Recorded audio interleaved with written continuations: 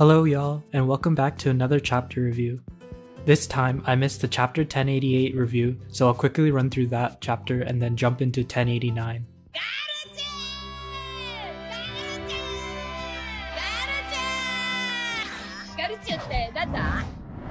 It starts off with a flashback of Garp saying to leave an old man and save the youngins.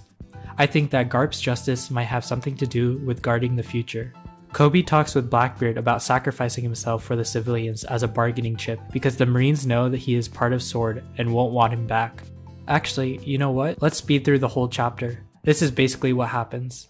Ha you can't beat me. I'm an island. Naya ha ha. War har har har har. Justice will prevail. Garp, where do you think you're going with that wound? Tis but a scratch. What? Huh? What are you doing coming here? Galaxy Divide. I'm going to live up to his expectations. Now, I'm really mad.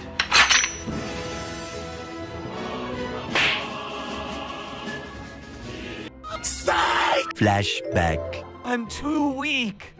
I will train with 200 times effort. Yeah.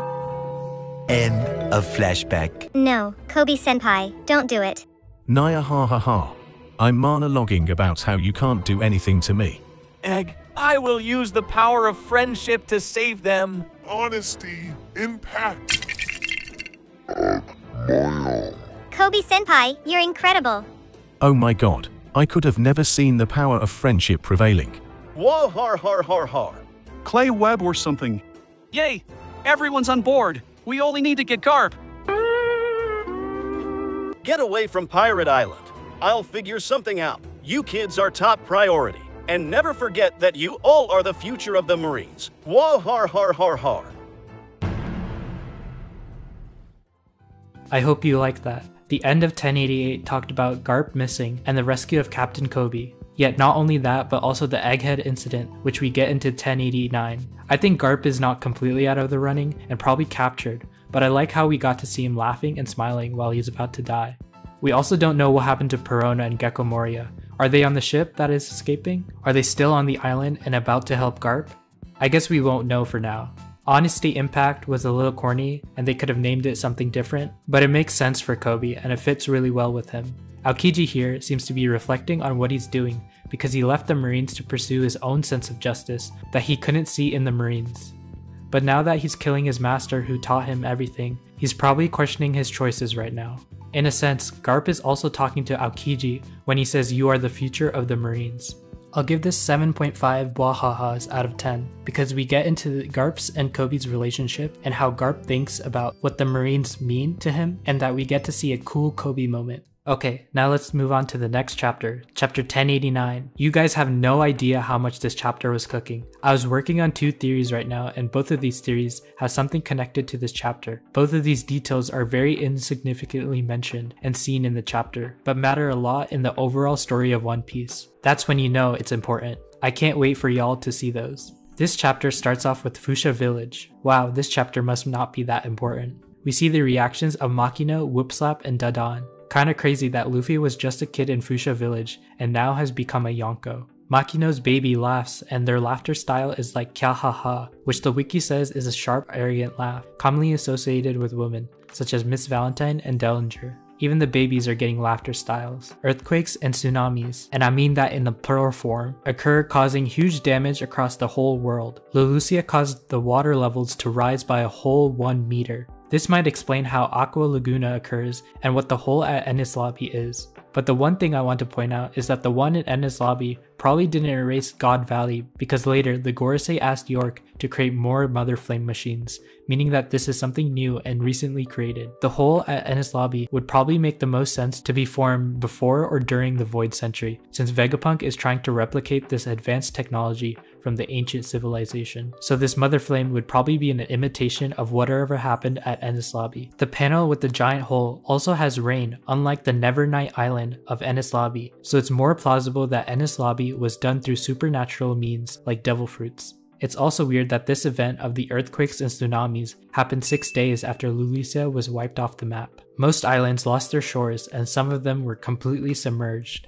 Wow, Imu is sounding like a real right now. How about you come close proximity to me? People all across the Four Blues felt the aftermath of the Mother Flame. Even the Celestial Dragons and Imu were affected, referenced by the little wobbly lines around Imu. Weird places like Impel Down and Wano also felt the effects of the rumbling from the earthquake. People are definitely going to be sus about where this originated from. If it wasn't conspicuous enough, they're definitely catching on to there's someone controlling the strings. Then we see the Marines brought 20 warships and 30,000 Marines, just for them to all later be soloed by God Usopp. Then we see Kizaru eating a bowl of ramen. Again, weird that the Marines headquarters has Japanese or Wano origin, with them serving noodles to all the Marines. We see this cute scene with Kizaru, Sentomaru, and Vegapunk. But now, Kizaru's enemies with Vegapunk and Sentomaru. Saint Saturn is munching on some glizzies while reading Morgan's newspaper. He mentions it's a good article because it says that the Straw Hat pirates storm Egghead to take Vegapunk hostage. I don't think anyone cares about that right now since everyone is losing their homes to a flood or panicking because of earthquakes. I guess the US government and the world government aren't too different after all. Doberman theory crafts into where the Straw Hats, Vegapunk, CP0, and the other Cypher Pole agents are located on Egghead. He even says the advance guard is Lucci, Kaku, and Stussy. But literally two seconds before, they talked about how CP0 failed their mission to assassinate Vegapunk. I think Doberman should be the one eating glizzies or making donuts with the amount of glazing coming from his mouth. The Labostratum dome is at 100%, meaning that all its safety protocols are up with nothing coming in or out. Doberman, Doberman, Doberman. Have you ever heard of Coup de Burst? Coup de Burst, that like button to be St. Saturn also wants to eliminate all the researchers on the ships escaping Egghead. Bro is peeing his pants right now. What is making him follow Imu so much? Is it to keep his glizzy eating hobby? Okay, I'll stop. St. Saturn calls Bonnie a little girl. It could mean to mock her, but this line might give us insight into Bonnie's age. While Rob Lucci said that they would get rid of Bonnie, St. Saturn says to leave her be. If my story reading skills are correct, it's definitely Bonnie that will give the most trouble to the Marines. This panel, I don't like this panel. Doesn't seem to be a show don't tell moment, but I'll let this one slide Oda for what's about to come. The Gorosei and Kizaru with Saint Saturn hear York talking to them on a transponder snail. York yells at them for trying to kill her too, even after she told them about the Stella Vegapunk researching the Void Century. The Gorosei and we the readers believe everything is under the control of York, with her saying she commands the Seraphim and how she survived the night. The Gorosei talk about replicating the Mother Flame. Oh my god, how many more of those do you need? A request from whom was funny. York almost got to know who sits on the empty throne. The Gorosei don't seem to be smart in keeping Imu a secret. That's a little sus. Maybe they actually do want Imu to be known somehow. A power station or fusion reactor is also on Egghead? What does that mean? They just have a power reactor right next to them? That doesn't seem to be safe or smart. Then York asks to not lay a finger on her or the lab and to become a celestial dragon, which the Gorosei agree to. And finally, we get the reveal that the Straw Hats are actually the one in control the entire time. Let's go! Now that's some Goto level writing. Bonnie is also standing here, so maybe she got everything from Kuma's memories. This might be an indication that we won't get Kuma's memory until later when we get a flashback of what happened on Egghead. A flashback and a flashback. Still looking for that barrel.